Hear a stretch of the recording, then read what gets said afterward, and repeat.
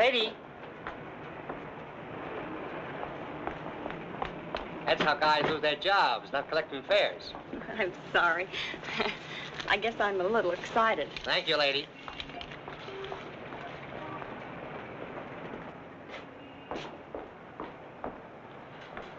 Good evening. Good evening. Uh, I'm Mrs. Stewart. Would you give me my husband's room number, please? Lieutenant Stewart. Lieutenant Stewart. Yes, he's arriving today. I wired for the reservation. Lieutenant and Mrs. Paul Stewart. You say you wired for a reservation? Yes, Mrs. Paul Stewart. I'm afraid there's been a slip-up. Apparently your wire wasn't received. But I sent it three days ago. I'm sorry, Mrs. Stewart. Unfortunately, there's nothing I can do for you. You mean I, I can't stay here? Well, I wish I could help, but we're completely booked up. But I've got to stay here. This is the only place we can find each other. I thought for two years he was dead, and now I don't know if he's been hurt or what. Please don't be upset, Mrs. Stewart. Perhaps I can arrange something. Has Mr. Walters checked in yet? No, sir, not until tomorrow. Fine. Then we can give them 816C for the night. But you will have to leave by noon tomorrow. Yes, of course. Thank you very much. Not at all. Will you register, please?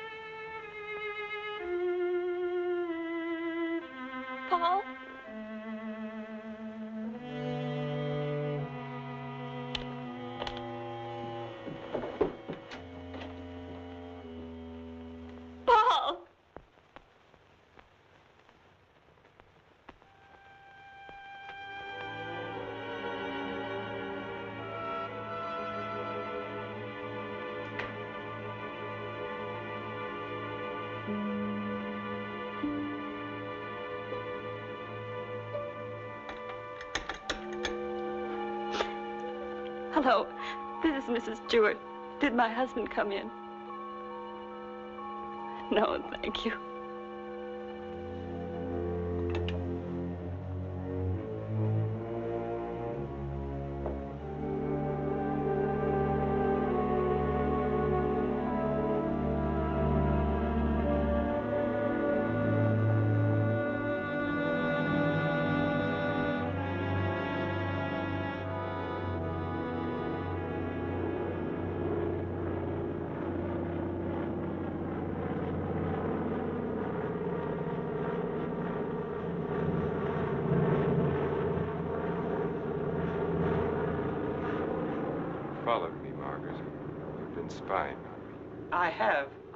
Watching you for months, making a fool of yourself, I don't think so. bringing her here.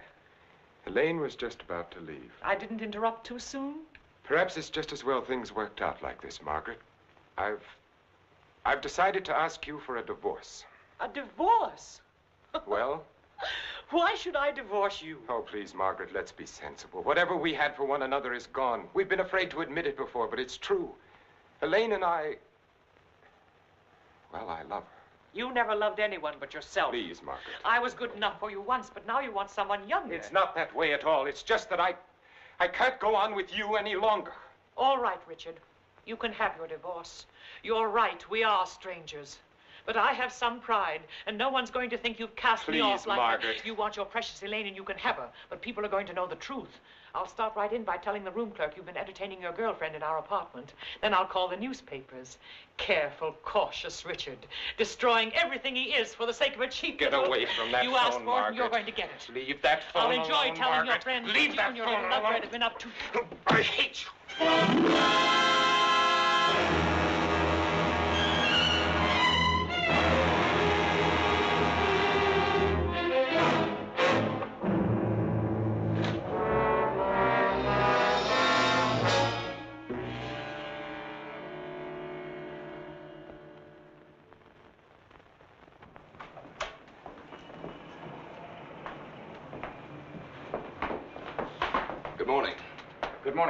I'm Lieutenant Stewart. Oh, yes, Lieutenant. We've been expecting you. Your wife's certainly going to be glad to see you, sir. Mr. Blake, this is Lieutenant Stewart. Mr. Blake's our manager. Lieutenant, you really had us worried. I'm glad you finally got here. For a while, I wasn't sure we'd make it. The weatherman threw the book at us. Well, you're in for a real welcome. 816C, boy. Oh, that's all right. I'd kind of like to surprise her. Very well, sir. Thanks.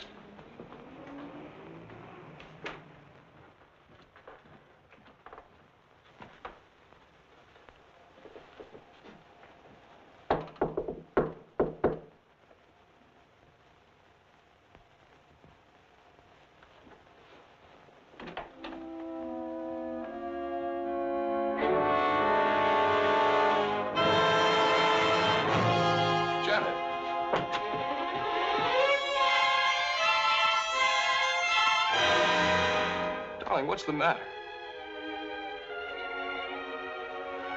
Janet. Janet, it's me.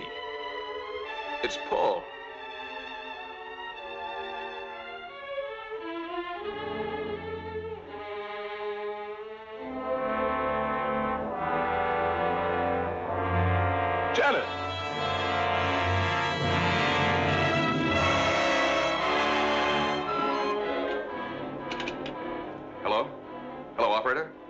Lieutenant Stewart calling.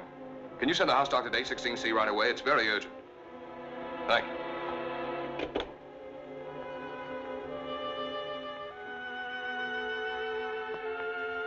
Well?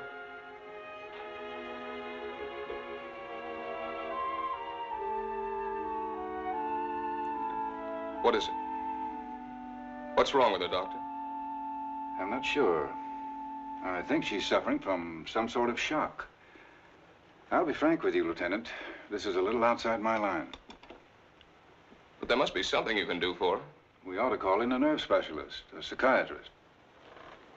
Can you suggest one? There's a very good man in the hotel, Dr. Cross. If we're lucky, we might find him in. Uh, this is Dr. Blair. Will you see if Dr. Cross is in for me? Thanks. Cross has had a lot of experience with this sort of thing.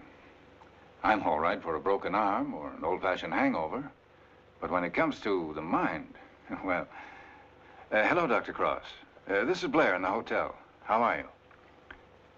Say, I've run into something that's right up your alley. One of the guests here's had some sort of shock. No, I, I don't know what caused it. Oh, would you? Well, that's mighty nice of you. Thanks, Doctor. 816C. He'll be right with us. She was so alive when I saw her last. I can't quite believe this. Better snap out of it, Lieutenant. I don't want another patient. Dr. Cross is one of the best men in this part of the country. I'm very happy that he's going to have a look at it. I don't get it. What could have brought it on? I wish I could tell you. The mind's a strange instrument. What affects me may not bother you in the slightest. The workings of the mind depend on so many things inside as well as outside. You can't make hard and fast rules. Well, I suppose it is plausible that she hasn't been feeling well. Worrying about me, not, not knowing whether I was dead or alive. Then coming here and not finding me. That'll be Dr. Cross. Good morning, Doctor. Good morning. I appreciate your promptness. Not at all. The sooner you get to a case of shock, the better. This is Lieutenant Stewart, Dr. Cross. How do you do, Lieutenant? Thanks for coming, Doctor. My wife is in the bedroom. She doesn't know me. She doesn't seem to know anything. Were you here when it happened? I just got in a few minutes ago. When I opened the door, she was sitting on the divan. Her eyes were wide open. She was staring at, at nothing. Did you notice anything peculiar about her actions when you saw her last? I've been a prisoner of war for two years. I've just come home. Oh, I see. She's had a rugged time of it, all right. First thinking I was dead, then hearing from me. On top of all that, my plane was 12 hours late. Would you say that she was a nervous, imaginative girl? No, sir. I've known her all my life. We came from the same small town in Michigan. Went to school together. She, well, she's just a nice kid. What's wrong with her, Doctor? She's had a nervous collapse, went into shock. Where did you find her? In the living room. In the living room? You said she was sitting on the divan. Yes, right here. I see. What do you think could have caused it, Doctor? Well, that's difficult to say.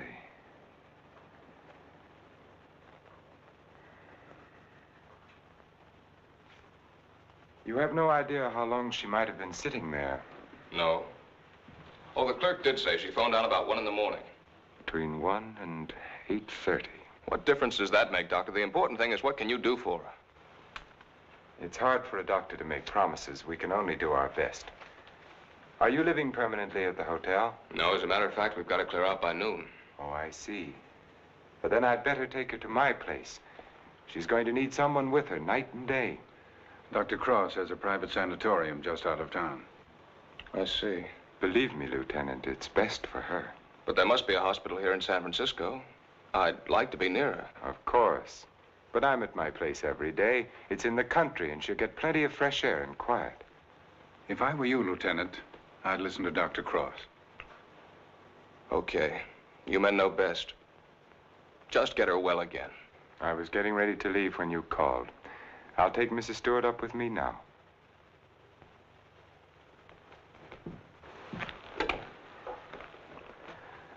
Hello, this is Dr. Cross. Will you get my office, please? I'm going along with her, Doctor. I'd rather you waited, Lieutenant, until I've been able to give her a thorough examination. It's quite possible your presence may excite her and do her more harm than good. It's just that I... It's been so long since I've seen her. Why don't you drive up with me tomorrow? Miss Jordan, will you call the hospital and tell Miss Hatfield to have a room ready for a new patient? We'll be there shortly. Yes, that's right. You pick us up at the hotel. Right. You'd better pack a bag for your wife, Lieutenant. Thanks, Doctor.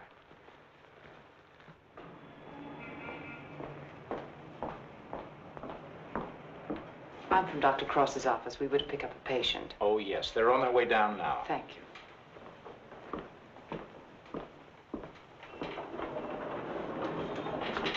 Your car's waiting, Doctor. Thank you. This is Miss Jordan from my office, Lieutenant Stewart. How do you do, Lieutenant? Mrs. Stewart has had a nervous collapse.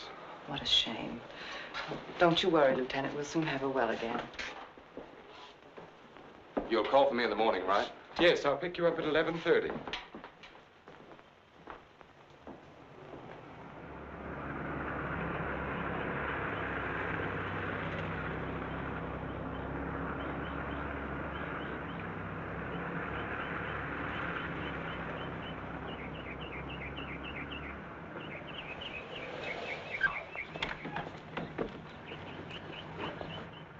bed and have Dr. Stevens give her an injection of scopolamine. Yes, Doctor.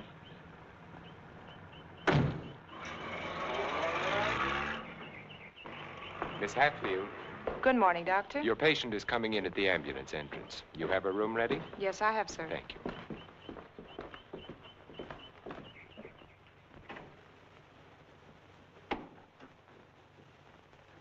Good morning, sir. Good morning, Doctor.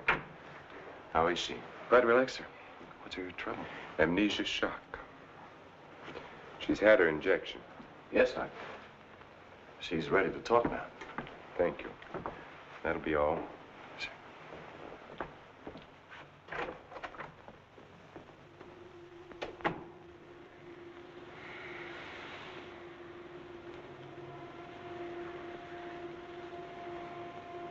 I'm Dr. Cross, Mrs. Stewart.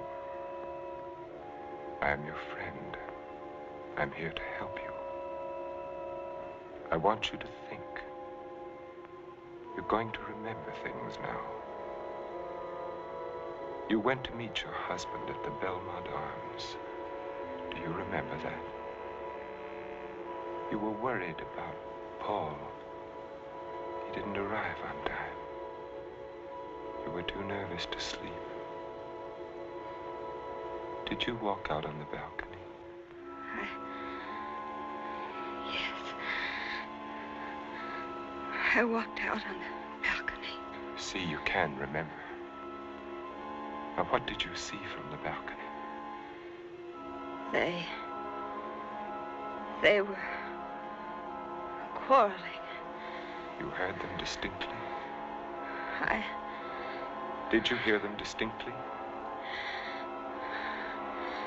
He's trying to stop her.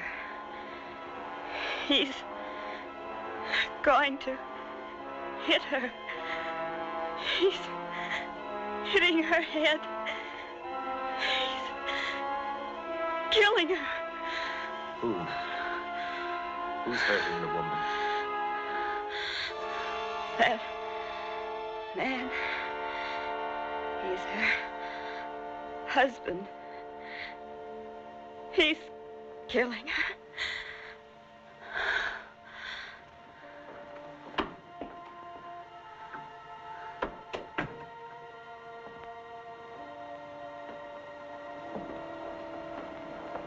Well, She knows, Elaine. She remembers. Her room was opposite my apartment. She walked out on the balcony. She heard everything.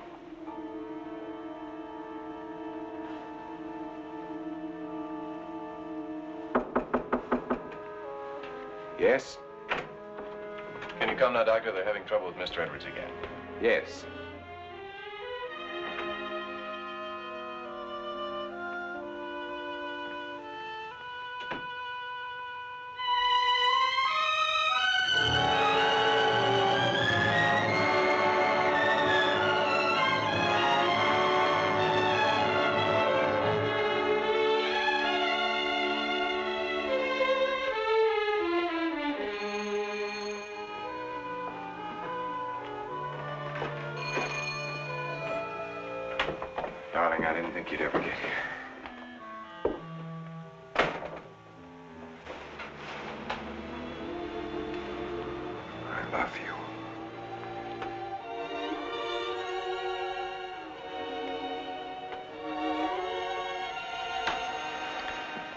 You've got a headache. I can tell from your eyes. Yes, it's bursting.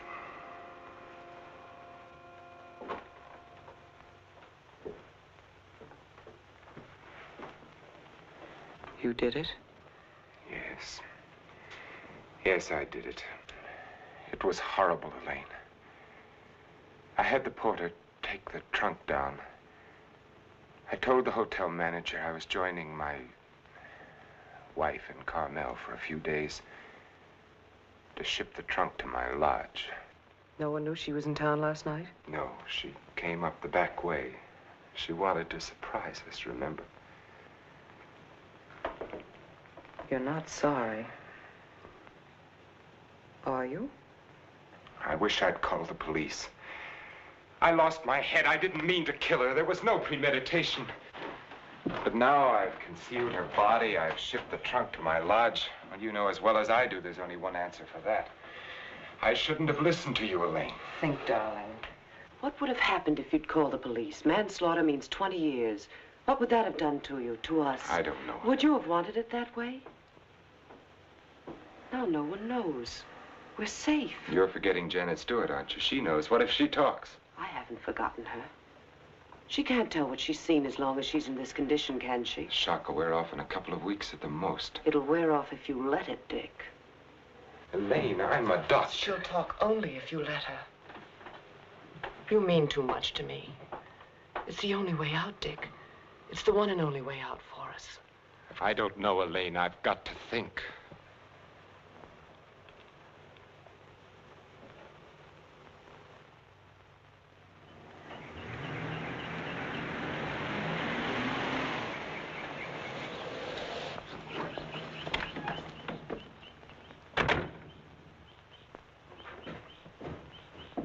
Good morning, Mrs. Penny. Good morning, Doctor. You're looking very well today. Thank you, Doctor. Good morning, Doctor. Good morning, Miss Hatfield. This is Lieutenant Stewart. Miss Hatfield's our head nurse. How do you do, Lieutenant? Is Miss Jordan with Mrs. Stewart? Yes, she is, Doctor.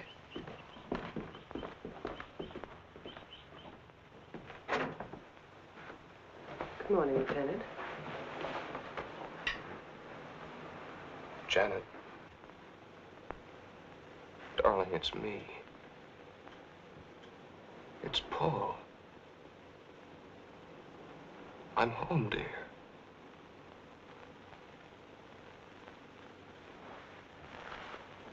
She's worse. Not really. She was restless, and we gave her a sedative. You've got to be patient, Lieutenant. It's going to take time. And you must try to stop thinking of your wife as she was. You see, when you were reported killed, she had a terrible time adjusting herself, but she did. Then when the news came that you were alive and on your way home, it was hard for her subconscious to accept that because the first adjustment had been so difficult. Then, of course, when your plane was late, she thought she'd been tricked, that you'd never sent that wire.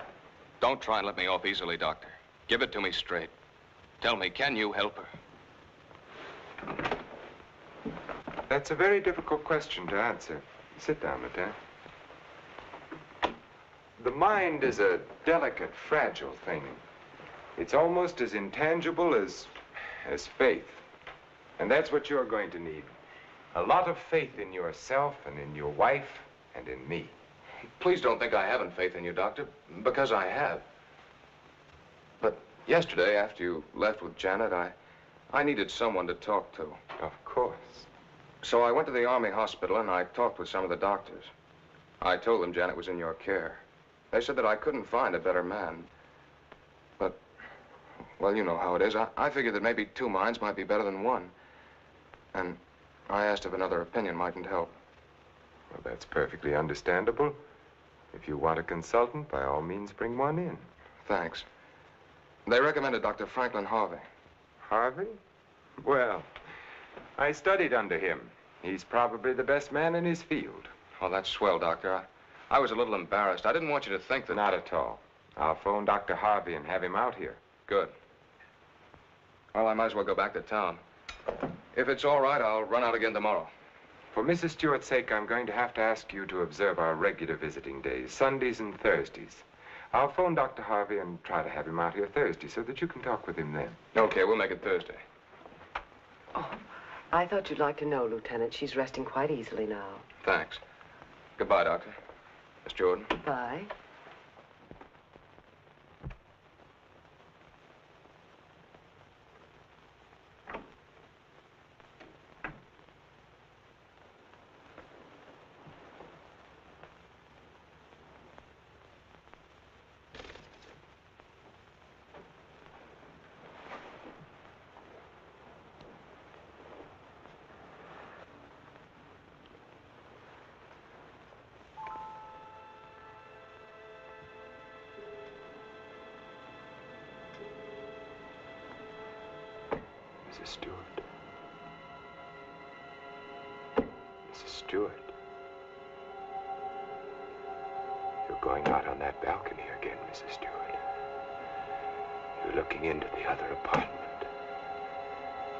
Listening to the argument. Do you remember what happened to the woman? He's hitting her. He's hitting her with the candlestick. And now he's hitting you. Hitting you with the candlestick. Hitting your head again and again. My head hurting my head. The candlestick is killing you. Soon you won't be able to remember anything. You can't hear the sound now can't hear anything. You can't hear. You can't remember. You can't remember.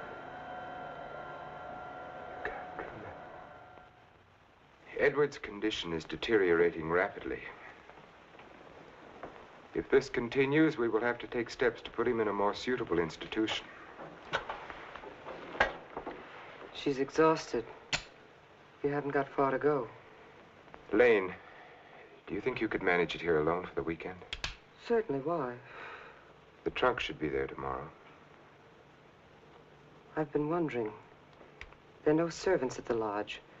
What'll happen when the trunk is delivered and there's no one to receive it? Nothing. They'll just leave it on the back porch. When are you leaving? Tomorrow. Dr. Harvey's due here this afternoon. Harvey? Coming here for what? Stewart requested a consultation. You're not going to let him examine her. Of course. How would it have looked if I'd said no? But he might discover something. He has no reason to be suspicious. You can't risk it. I won't let you. I know what I'm doing, Elaine. Darling, you're not thinking clearly. I've never seen things so clearly before in my whole life.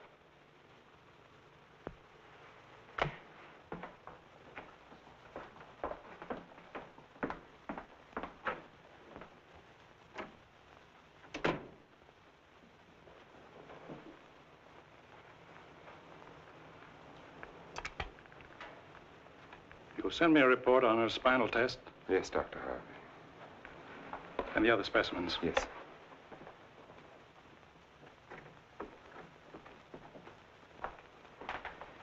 You know, Richard, I'm not sure I completely agree this was all brought on by her husband's late arrival. That was a contributing circumstance. I feel there may have been something else. Well, that's always possible, of course, sir. But I found no evidence of it. Just speculation. Will you have a cigar, sir? Yes, thank you. Let's continue the present treatment and see how she comes along. Yes. I notice, Richard, you've been giving her sedatives. Yes, I have. She's been pretty difficult at times. I'd go easy on them. If she's under sedation, there's no way of knowing when she comes back to normal. No, I'd plan to take her off them within the next 24 hours. Fine. By the way, how's Margaret? I'm joining her at the lodge. Give her my regards when you see her. I will, thank you, sir. Well, I'd better talk with the young man. Sometimes I wonder which are more difficult, patients or their families.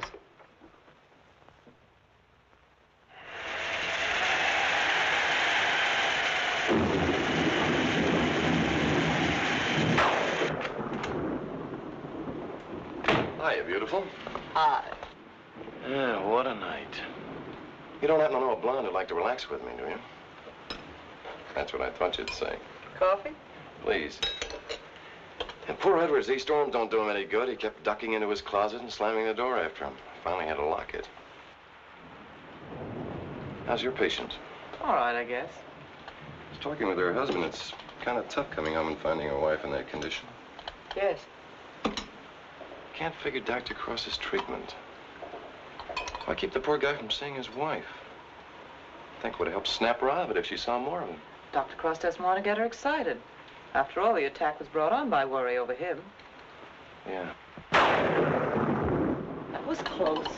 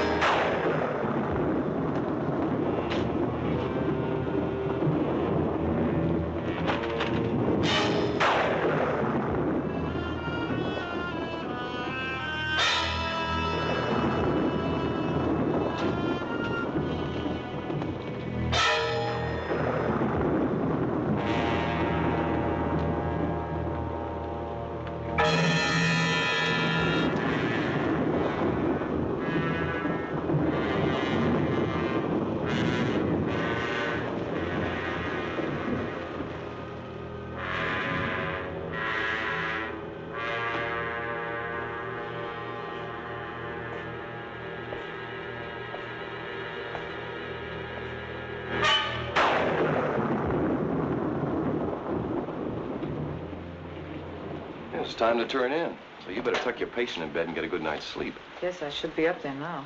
Tell me, is it true that doctors get a night off once in a while? If you had a night off, you wouldn't know what to do with it. Wouldn't I? Wouldn't I? Good night, Doctor. Good night.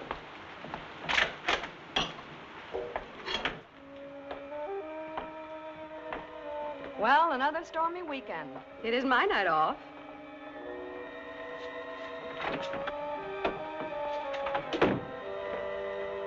Anyway, the rain will help Jane on her day off.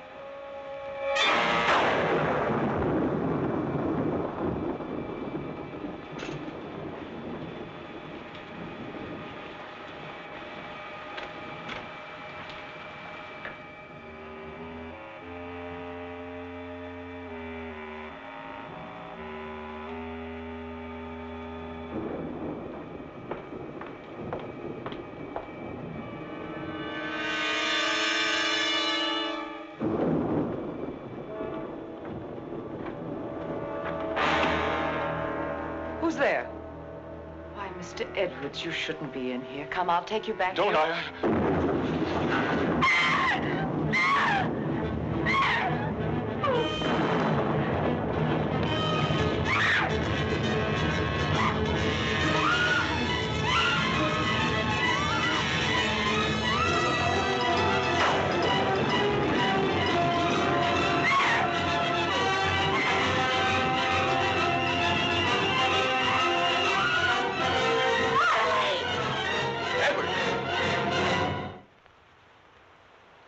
Afraid. We won't let the storm hurt you. You're coming back to your room, aren't you, Mr. Edwards? Aren't you, Mr. Edwards?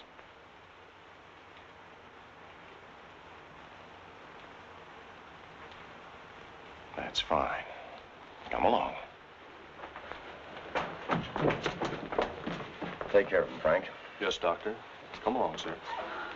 Are you all right, Elaine? Yes. There, there, Mrs. Stewart, it's all over. He killed her. He hit her on the head and he killed her. Her husband killed her.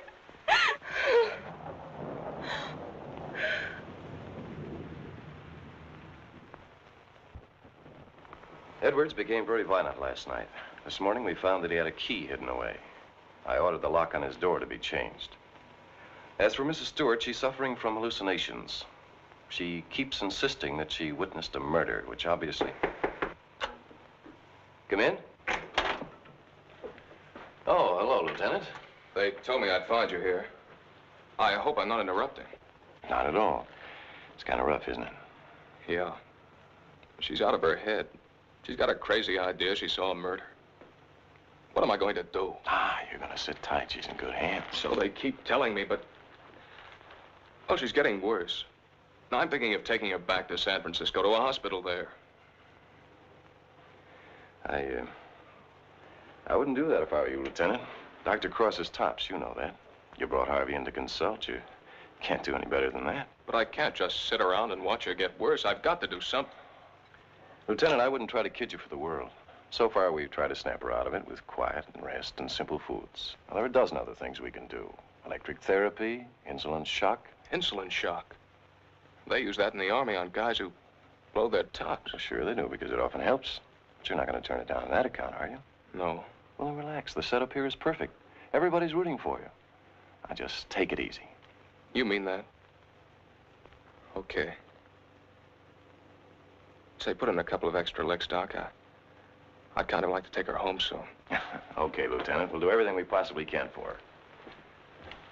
Goodbye, Doctor. Goodbye. Oh, I beg your pardon. Look at this. Mrs. Cross is dead. What? The body of Mrs. Margaret Cross, wife of the noted psychiatrist, has just been recovered from its resting place among the rocks at Point Lobos. Mrs. Cross has been missing since Friday night. Coroner Jess Haynes has pronounced the death accidental.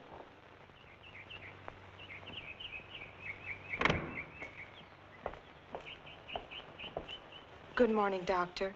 You have our deepest sympathy. Thank you.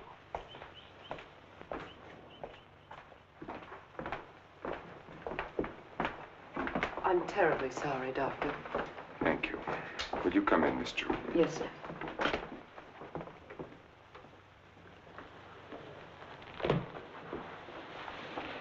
You're the perfect picture of a heartbroken husband. Am I? I've missed you. Driving back, there was time to think. I got to thinking about you. I asked myself, is she worth what I've done? Well?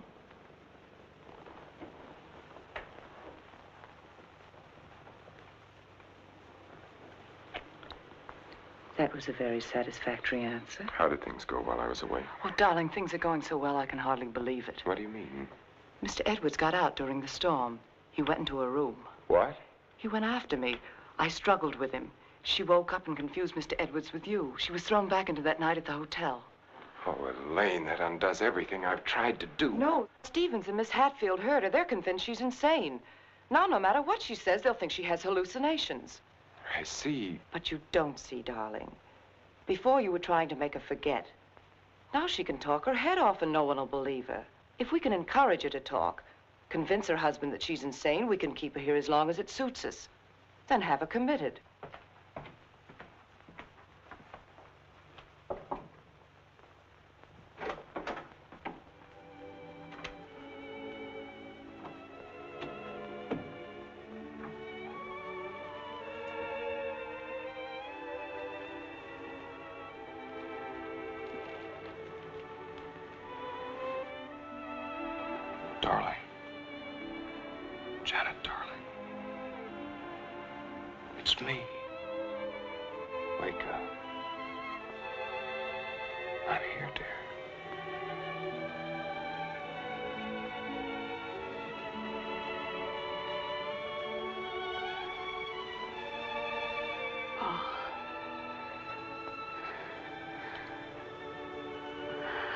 Waited all night for you, darling.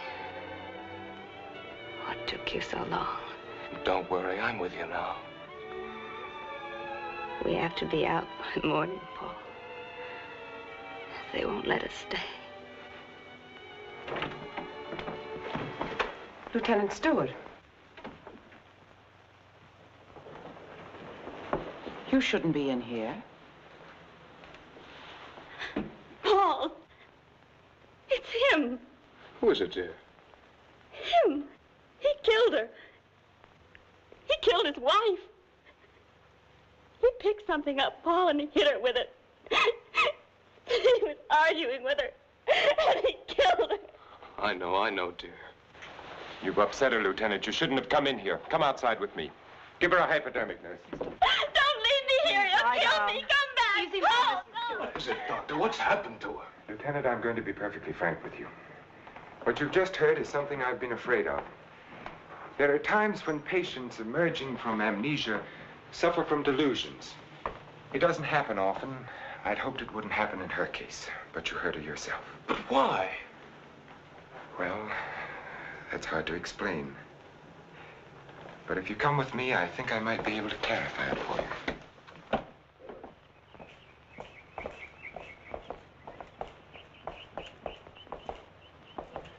Hello, Mrs. Penny. Good day, Doctor. How are you feeling today? Just fine, Doctor, just fine. That's a lovely thing you're knitting there. It's a shawl for one of my friends. Everyone here treating you well? Oh, yes, they're very nice to me. Dr. Stevens hasn't tried to kill me with that needle for a long while now. Neither has Miss Hatfield. Haven't I told you many times, Mrs. Penny, that no one here is trying to kill you? Oh, yes, they are. You all want to kill me. You're murderers, all of you. But I've learned. hmm? I'm too smart for you.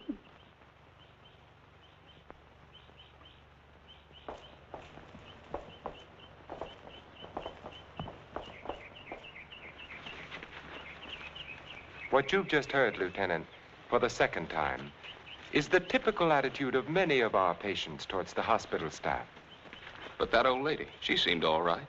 Mrs. Penny is suffering from a paranoid form of dementia precox, characterized either by delusions of grandeur or delusions of persecution, or both. The patient, when confined to the hospital, almost invariably becomes convinced that the doctors and nurses who are treating him are really murderers intent on killing him. This delusion is quite common among mental cases in an institution of this sort. Are you trying to tell me my wife is out of her mind? No. Out of the mind denotes complete loss of reason. Mrs. Stewart hasn't reached that stage. But she's got the same crazy idea as the other patients. Right now, she's merely suffering delusions. However, I, I feel it's only fair to tell you, Lieutenant, that this condition can become worse. Our fight now is to prevent further deterioration of her mind. You've got to help her, Doctor. You've got to get her well again. I'll do everything I can. Believe me.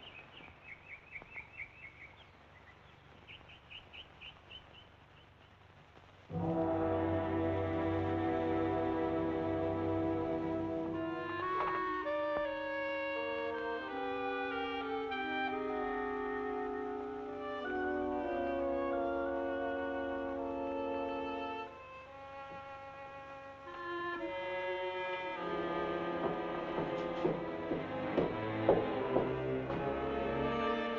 now, Mrs. Stewart, you shouldn't be out of bed. Will you help me, please? Help me. Get the police here, please. We don't need the police, Mrs. Stewart. You come along with me and everything will be all You don't understand. There's nothing the matter with me. I want the police. That doctor's a murderer. Right, you go back to bed and we'll call the police. Oh, don't talk to me as if I were crazy. I'm telling you the truth. Orderly. Now come along, Mrs. Stewart. No one is going to hurt you. No, Everything's let going to be all right. Orderly!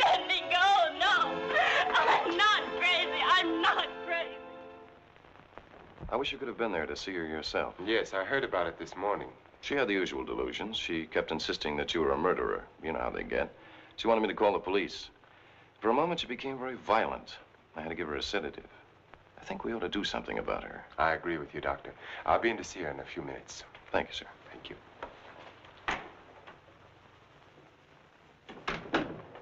There, you see? Everything worked out just as we planned. Yes. Well, smile, darling. It's fallen right in our lap. You don't seem particularly pleased. I am. Of course I am, Elaine. But what are you going to do?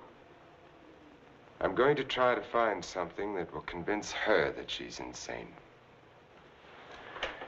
You'd better get back to her now, darling. I'll be over in a few minutes. Right.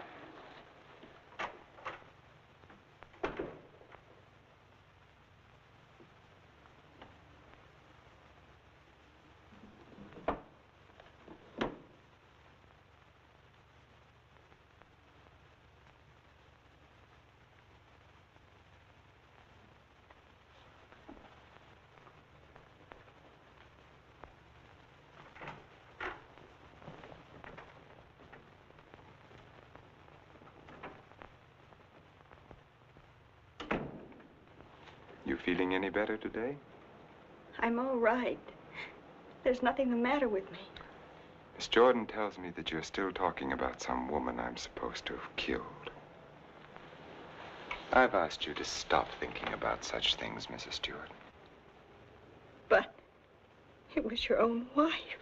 If I can prove to you that you couldn't have seen me kill my wife, would you believe that this is a delusion you've been suffering from? You were arguing with her about a divorce.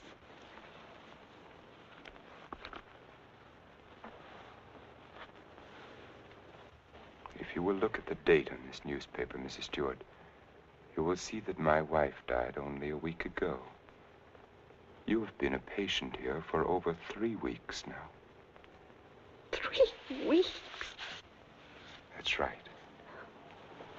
So you see, this has all been a very vivid dream. You must fight these dreams, Mrs. Stewart, or they're going to become worse, and we don't want that to happen.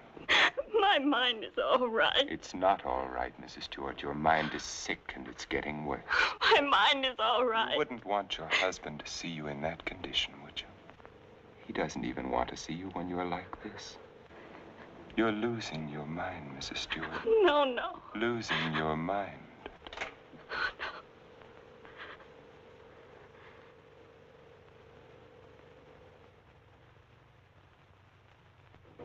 Thank you, Miss Hatfield. Dr. Cross, Yes? there's someone in your office to see you. Did I have an appointment? No, sir. He's from the district attorney's office of Monterey. Oh, yes, thank you.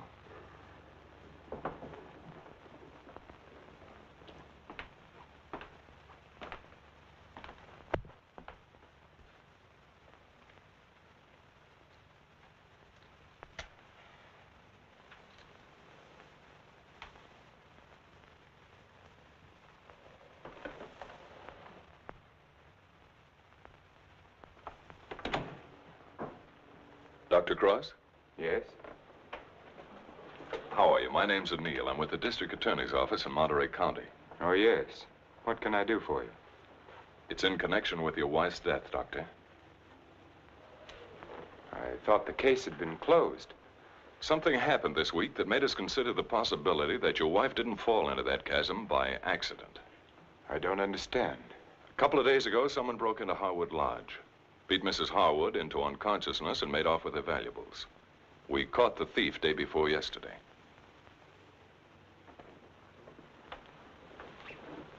But what has that to do with Mrs. Cross's death?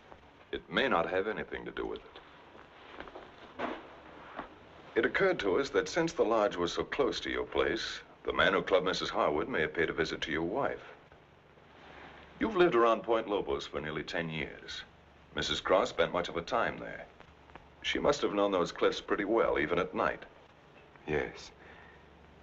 I'd hate to think that I'm she... not saying it was murder, Doctor. I'm just checking. Of course. I'll do everything I can to help you. I knew you'd feel that way about it. Have you checked your place to see if anything was missing? I'm sure there isn't, or I'd have noticed it. If it's all right with you, Doctor, we'd like to have Mrs. Cross's body exhumed. But the coroner said... It was only a routine examination. Well, I don't know as that's necessary, Mr. O'Neill. You've got your man. All we've got is a drunken old tramp who clubbed Mrs. Harwood and stole a little money and jewelry. We can't know about Mrs. Cross unless the body's exhumed. But it seems almost sacrilegious. Hasn't she been through enough? Haven't I? I'd hoped you'd be more understanding, Doctor. Naturally, we'll get a court order, but it would be much simpler if you... If this tramp killed your wife, you want to see him punished, don't you? Of course. Then you can't conscientiously object to the exhumation. No. No, Mr. O'Neill, I can't. If the man is guilty, he must be punished, of course. Thank you, Doctor. You'll hear from me one way or the other within the next few days. Thank you for your cooperation.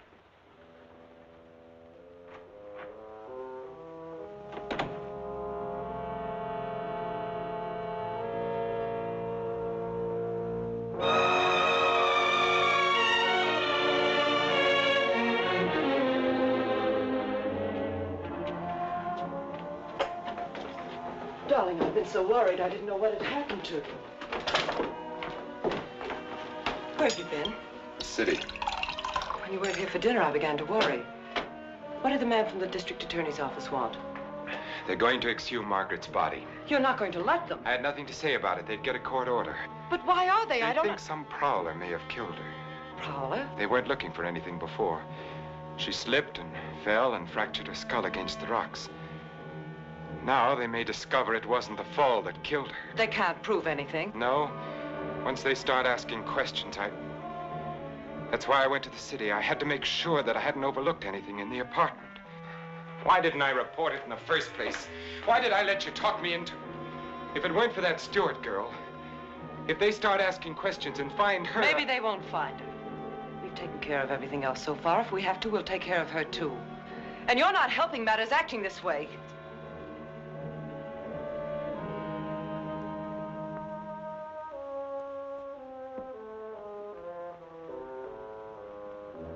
If a man wanted to, if he had courage, he could get rid of her and no one would ever know. The doctor has an advantage. I could give her insulin shock treatment.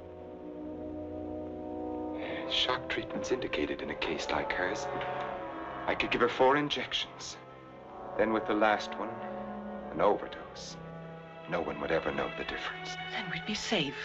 No matter what the district attorney's office found, we'd be safe. They'd have nothing on us, Richard. We could get married then.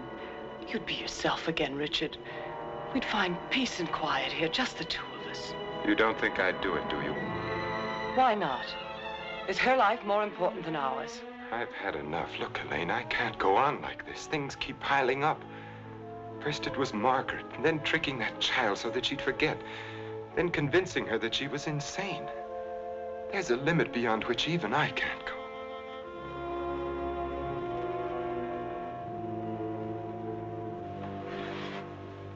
Richard, remember the first night I came here? Remember?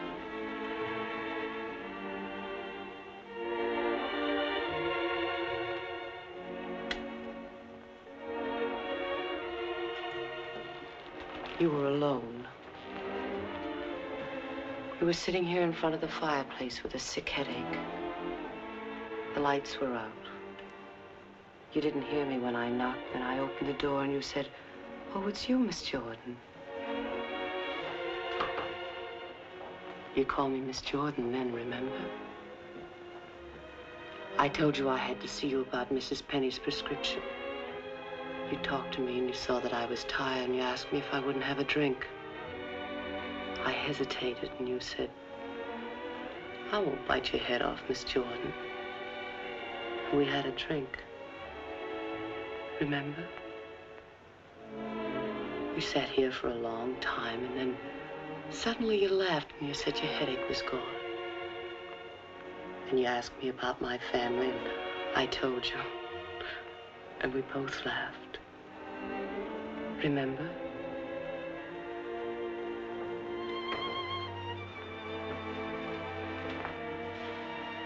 Then you took me in your arms. I know you remember that. I won't do it, Lily. I won't do it.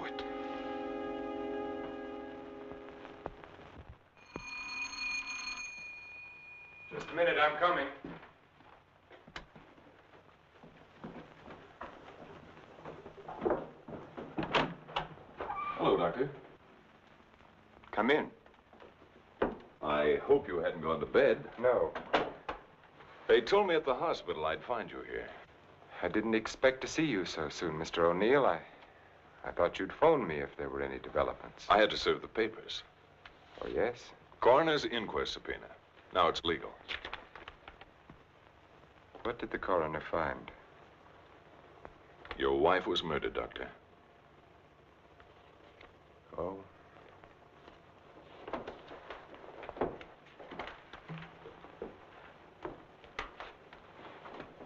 Sure?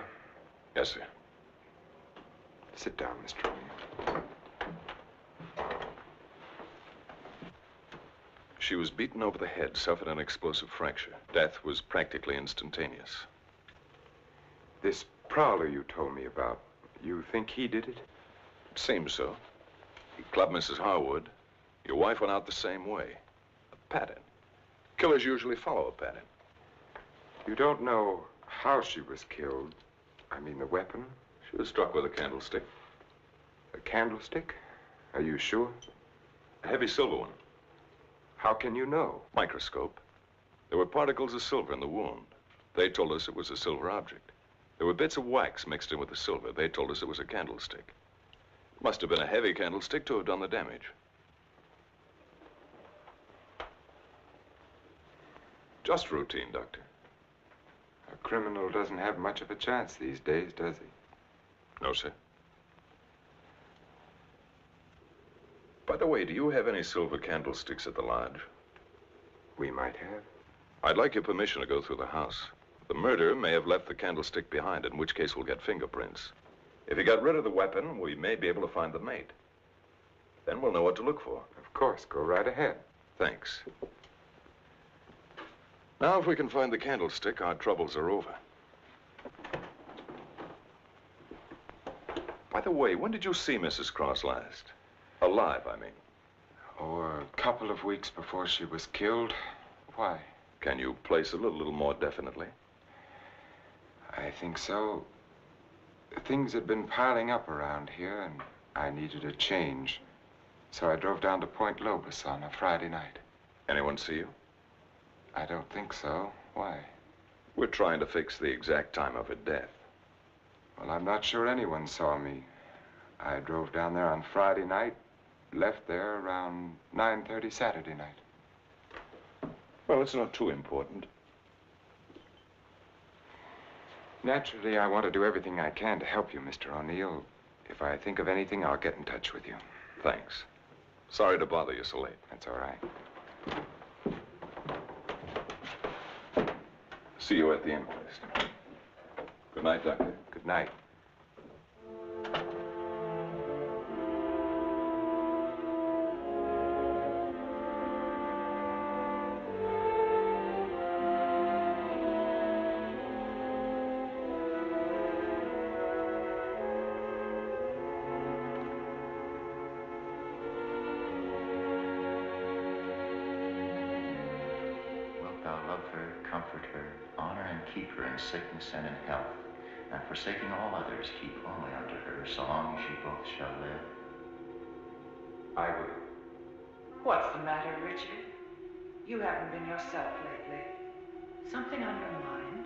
Darling, what's happening with us? Richard, I must speak to you. People are talking about you and that nurse, Miss Jordan.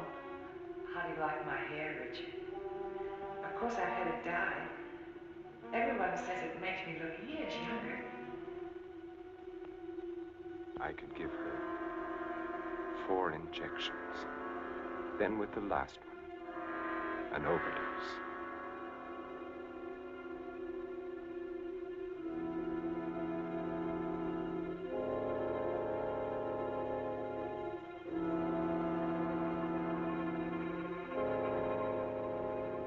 We'd be safe. No matter what the district attorney's office found, we'd be safe.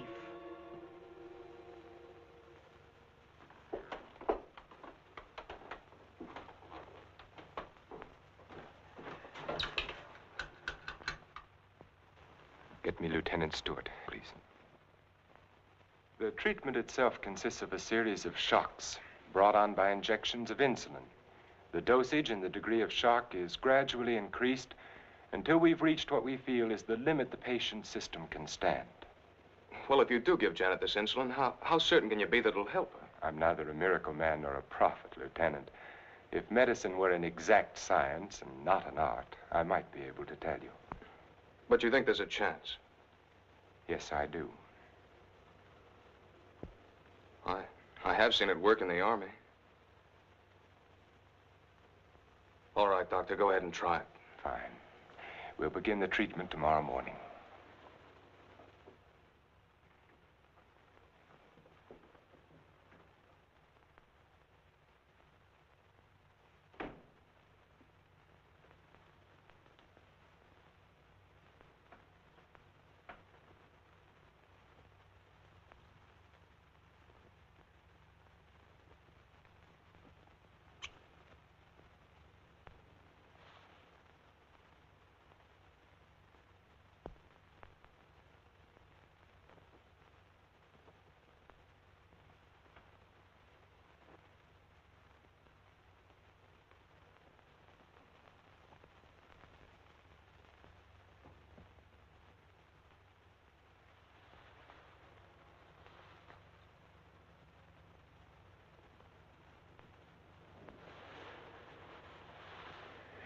Her about an hour and a half.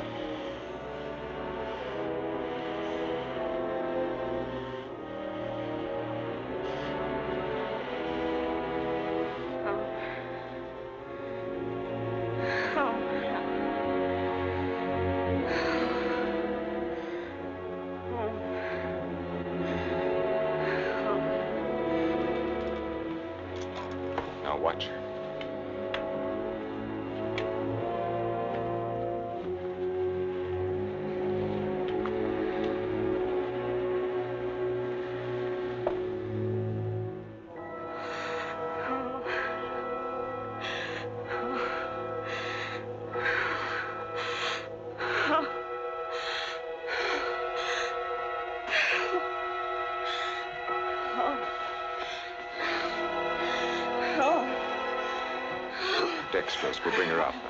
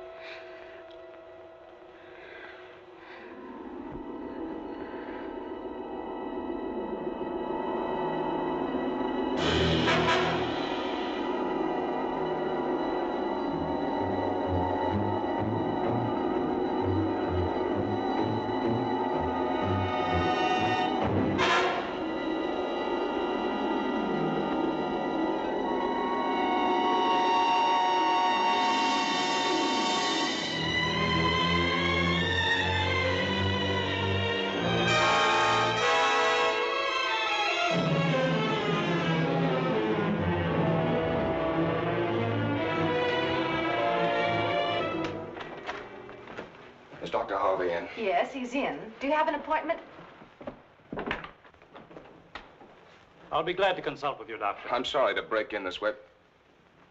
But my secretary will make the appointment. I had to see you, Doctor. It's about my wife. She's been getting insulin shock treatments. Now, just a moment, young man. Oh, it's Lieutenant Stewart. Well, we've had some wonderful results with insulin. But after three treatments, she still insists she saw Dr. Cross murder his wife with a candlestick. Murder his wife? Yes, and she says he's trying to kill her now. That's a very common delusion. Mrs. Cross is dead, and Dr. Cross did live in our hotel.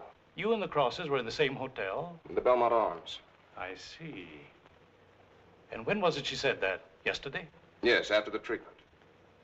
Hmm. You realize it's hard to make generalizations. But as a rule, the patient is completely normal immediately after insulin shock. They may relapse into their hallucination after this uh, lucid period.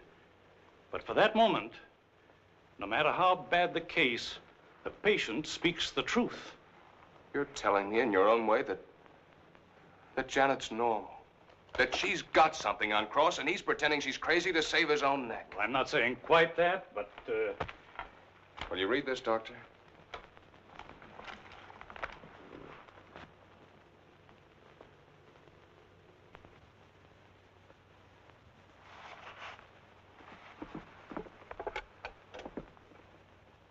Get Dr. Cross at his sanatorium, please. It seems inconceivable. Hello, Dr. Cross. I'm sorry, Dr. Harvey. Dr. Cross is with Mrs. Stewart. No, sir, this is Dr. Stevens' day off. I see. Thank you. Well, Lieutenant, I think a trip is in order.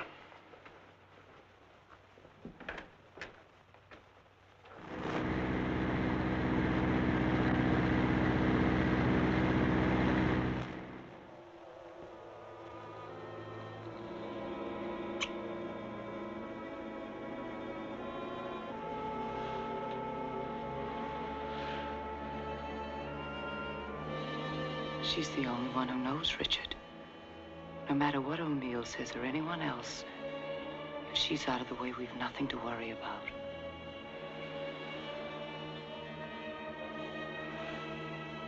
They can hint and guess all they want, but without her, they have nothing.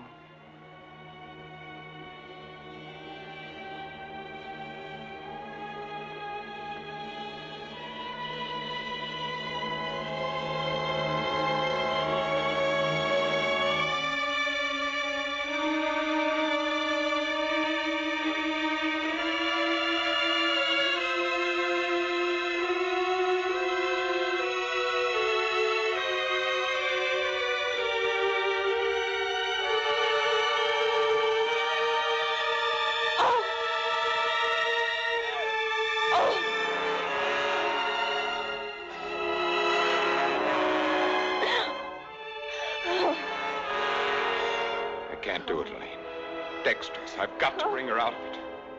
No, No, you can't. Dick, you uh, can't. Dextrose, Elaine. I've got to save her. I've got You to. can. I won't let you. We've got to go through with this. Don't you understand? I can't go through with It's it. her life or ours. No one will ever know. Elaine. Richard, listen to me. Let go of her. Richard, I love you. Let go. Richard! Richard!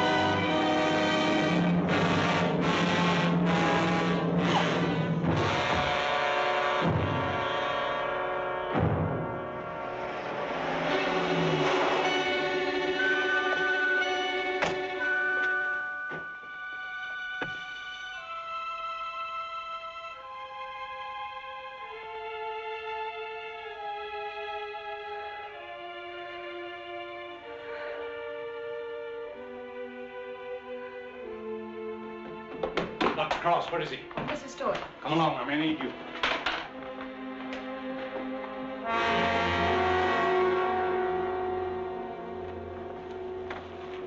Adrenaline, quickly.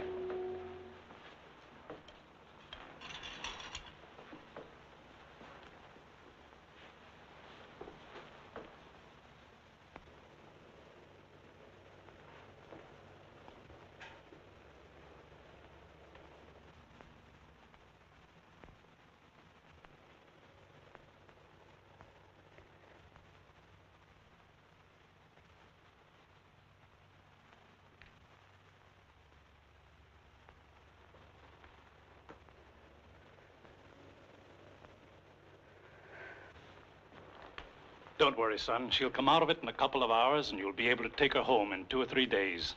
I'm very grateful to you, Doctor.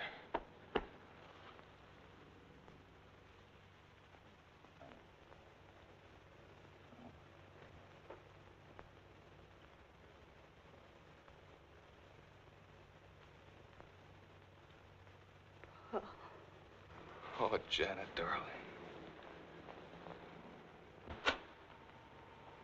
September 13th. In the case of Janet Stewart. I gave her insulin shock again today, for the fourth time.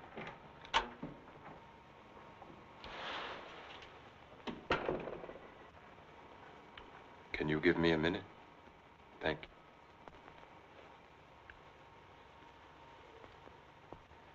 Dr. Harvey completed the treatment successfully, and the case is closed.